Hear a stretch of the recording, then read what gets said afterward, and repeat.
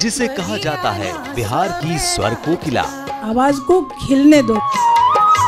जिसके गायन में है मैथिली बज्जिका और भोजपुरी के स्वरों की विविधता। ये गजब का गाना था। आ रही है पद्मश्री शारदा सिन्हा देने सुरदूतों को उनका नाम।